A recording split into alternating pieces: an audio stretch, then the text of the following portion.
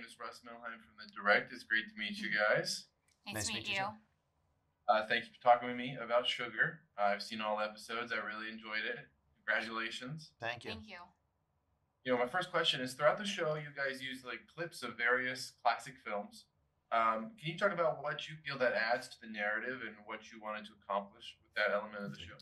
When we had the scripts, um, they were a throwback to film noir, and Mark is a cinephile who talked a lot about classic films and how sugar made sense of the world through movies.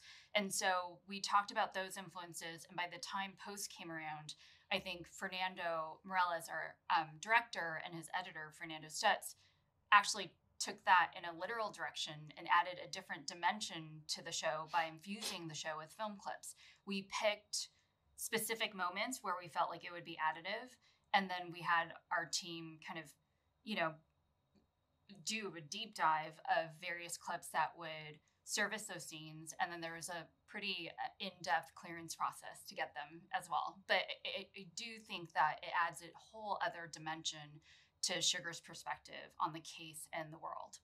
Now, this next question might be pretty linked to to your answer there, but Mm. you know, for both of you, for this specifically for this first half of the season, uh, what did you guys hope to accomplish when it comes to setting the show apart from those similar PI stories that it's you know inspired by? I think whenever um, you're working in a genre, the two opportunities I think you have to to innovate are tone and character, um, because ultimately, you know, no matter what the case is, it's not going to be um, so radically different from the five billion um, murder cases or mystery cases you've seen um, in television over the years, right?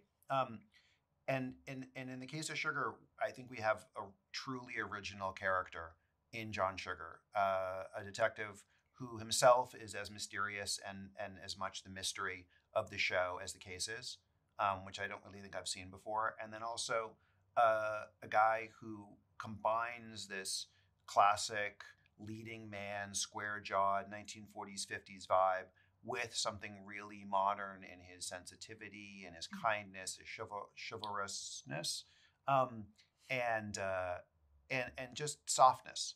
And that combination of being hard boiled but also emotionally soft um, is something I've just never seen. And that is the vibe of the show too. It is this combination of old school and very uh, modern.